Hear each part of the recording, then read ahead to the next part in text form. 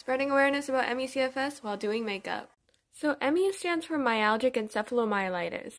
Myalgic stands for muscle pain. Encephalo stands for brain and spinal cord. And itis stands for inflammation. So this is a name that isn't really agreed upon. People have kind of found out that inflammation of the brain and spinal cord is not the main cause of this disease. So there's some calls to rename it myalgic encephalomyelopathy, opathy meaning disorder of. And CFS stands for chronic fatigue syndrome, which is also a huge understatement of the condition because research has shown this is a complex multi system dysfunction condition.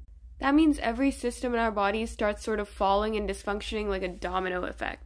For example, astrocyte dysfunction, which is a type of brain cell, that modulation dysfunctioning leads to breathing, heart rate, all kinds of things dysfunctioning. Then you have mitochondrial dysfunction, which leads to ATP dysfunction, which leads to overall energy dysfunction. And the research that has led to all these discoveries points to a much more serious and complex disease.